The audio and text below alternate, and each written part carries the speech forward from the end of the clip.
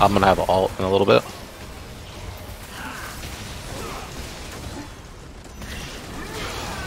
And Lee Sin.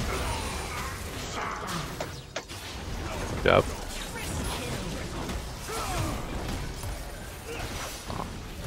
My way over there. Hold him down. God Oh. dang it. That's alright.